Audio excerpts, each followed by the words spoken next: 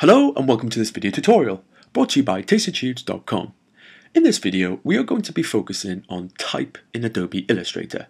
Now, you would find it pretty tedious and difficult to create brochures, magazines, newspapers or books in this program, but Illustrator does offer a range of tools to be creative with type, which you may find useful for logos, t-shirt designs, posters or book covers. In this tutorial, we are going to be looking at the type tools on offer and how we might use them. Now the best way to learn is by watching and doing. So to help you, I have created this worksheet. To follow along with this tutorial, you will need to open this document I have prepared especially for this tutorial. You will also need to download and install the font code. These files can be found in the Essential Practice folder in the project folder. Now you can download this project folder and the font for free. The download links are in the description. Also, along the way, I will be mentioning some useful shortcut keys, which you can find in the description and in the shortcut key page in the project PDF, which you can also download in the description.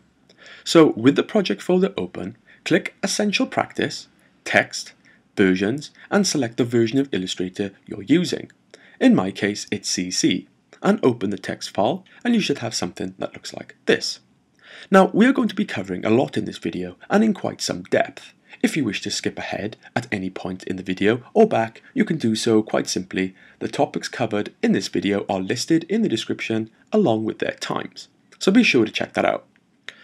So once you have your document open, let's get into it. And we are going to start at the top of the first artboard. Now, you can find the type tool over in the menu about six icons down. You will also notice a little white arrow in the bottom right corner of the type tool. If we click and hold on the Type Tool button, you will see a box expand to reveal a series of type tools. Now, we are going to be using all of these type tools in this tutorial, so to make it easy, I'm going to move my mouse cursor over the little arrow on the right, and upon release, we will snap off an independent type tool panel. Now, we are going to be referring to this panel over the course of this tutorial. Also, it will help to have your character panel open. I have mine open here ready, though if you cannot see yours, come up to Window, scroll down to Type and select your character panel from here. So we are going to begin by either selecting the Type tool, the first tool in the Type tool panel, or press T on the keyboard for the shortcut. Now, we have the Type tool active, we can see the mouse cursor has changed to this new Type prompt icon. So I'm going to click just once. Upon click, we can now see a text prompt waiting for us to begin to type. Now, we have activated a type object. We can now see up in the control panel a series of text formatting options. So before I begin to type, I'm going to change my font. I can do this by either coming to the top control panel, clicking on the drop down on my character option and choosing from here, or if I know the name of the font, I can click into the character title area and type the name. I know the font I want to use, so I will begin to type this in. I'm going to type in code, and up will come a selection close to that, and I'll select code bold. Next, I'm going to change the font size. I'm going to type in 75 into the size and press enter. You should now see your text prompt increase too. This will give you a rough idea of how big your text is going to be when you type. So once I'm happy with the font and size, I'll just type in text format, like so. Once I'm happy with that, I'll just come over to the menu and click the selection tool. Now we can see a bounding box around my text object. This will allow me to move my text element around, change the shape and scale, and rotate if I wish. I'll just undo that. So with the selection tool, if I double click onto my text element, I will click into the text and activate the type tool. Here we can select parts of the text element and make formatting changes, such as change the color, change the font, or the tracking. We can make these changes either up in the control panel or in the character panel. We can also experiment with other effects. With the text selected, if we take a look in the tools menu at the bottom, we can currently see that there is a black fill applied. If I press swap fill, we can apply a stroke and toggle the stroke size. Then click on the color fill and choose a pattern from the swatches panel. To deselect my text element, I'm going to choose the selection tool in the menu and click off. So we can use these formatting techniques when we are creating headers or logo type. Though what if, for example, you're dealing with more than just a header, perhaps some paragraph text?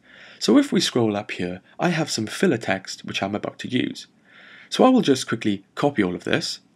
So I'm going to press T to activate the type tool, but this time, instead of clicking once, I'm going to click and drag an area out like so. Upon release, we have now created a text area. If I press Command V to paste, the text I just copied will be pasted into the new text area box. If I choose the selection tool from the menu, I can move my text box around and toggle the size of the box like so. Now, if we look closely, we can see this little red box in the bottom right of the type box area. Well, this is Illustrator telling us that there is more text in this box that can be shown. Now, if I press A on the keyboard to activate the direct selection tool, click on this little red icon and move my mouse cursor over to the side, the mouse cursor will change and now Illustrator is asking me to draw a new type area. So I'll go ahead and click and drag and upon release a new box is created and the rest of the type from the first box will flow into this new box and we can see these boxes are now linked. If I press V, I can move the box around and change the shape like so. And if I double click into the box, I can make selections and edit the text formatting like previously demonstrated. So we can use type boxes if we are dealing with large amounts of paragraph text, perhaps for leaflets or flyers. Next we are going to look at text as outlines. So here I have a text element I have prepared earlier, and if we select the object with the selection tool and double click, we can see it's just a normal text composition. Now, there are a lot of formatting, colour and stroke effects that you can apply to type, but sometimes there may be other effects you wish to create that cannot be applied to type objects. Things such as applying brushstroke effects, sharing the document artwork with others who do not have the same font as you, applying gradients. What we are going to do next is turn this text object into outlines. To do this, we need to deselect the text object by choosing the selection tool in the menu once the object is selected with the selection tool, we can right click on the object, then scroll down to Create Outlines. Upon click, the text has now been converted into vector shapes. Though you must remember, once you convert text into outlines, there is no longer any way to edit this text, so you must be happy with your composition first.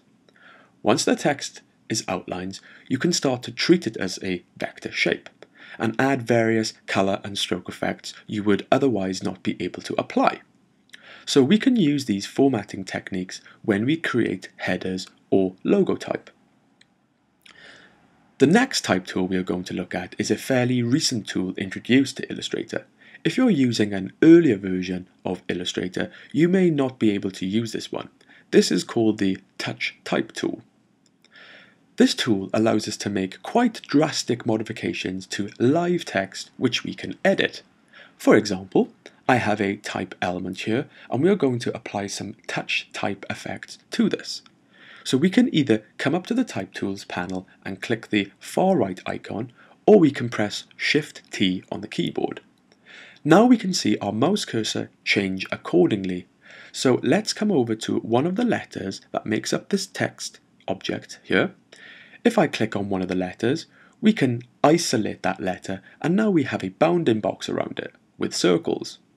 Now each one of these circles allows us to make a particular change, such as rotation, size and scale, and position. Once I have made a modification I'm happy with, I can click off to deselect. Then select another character, make some further modifications, and deselect by clicking off. So as you can see, we can make some quite big changes to a text object. Now, if I press T to activate the type tool and click back on, we can see the text is still editable should we wish to change anything. So if we come on to the next page, we will begin to see some of the more playful type tools in Illustrator. If we come to the Type Tools panel and select the Vertical Type tool, this can allow us to create type vertically. Pretty cool. Now, earlier we learned how we can create type boxes by clicking and dragging with the type tool, If, however, you have a vector shape, you can paste text into vector shapes.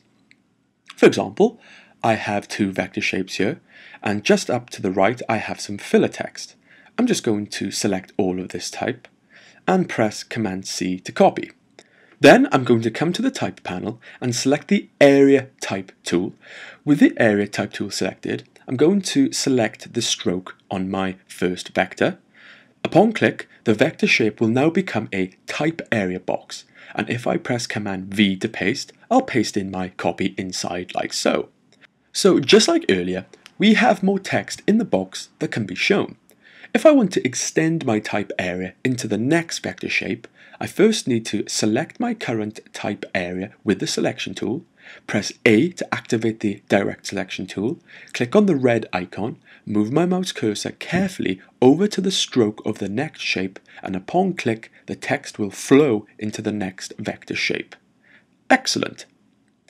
Next, we are going to look at text on a curve. In Illustrator, you can create a stroke path using the pen tool or pencil tool and run text along it. Here I have a vector stroke path that has been created earlier using the pen tool. If, if we come to the type tools panel and select the type on a path tool, we can come over and click a starting point on the stroke like so. If I begin to type, we can see the type run along the path. Now I'm going to choose the selection tool from the tools menu to deselect the type. And if we look closely at the selected type object, we have a thin blue line in the middle. If we place our mouse cursor over this, we will see a little mouse cursor prompt. This means we can click this and drag it down, and this will flip the text to run on the other side of the path. I'll just click this again and drag it up back on top. We can also use the Type on Path tool to set type along the outside of a vector shape. If we take the Type along Path tool again, but this time click on the stroke of this circle, we can place text along the outside of the stroke. If I choose the selection tool in the tools menu to deselect the type, I can come and set the text along the inside by clicking the thin line handle like so. So that covers some of the type tools in Adobe Illustrator, which you may find useful for your artwork. In the next video, we will be moving on from the Essentials practice stage and begin to create our project. Next, we will be learning how to set up a new document ready for our project. So see you in the next video.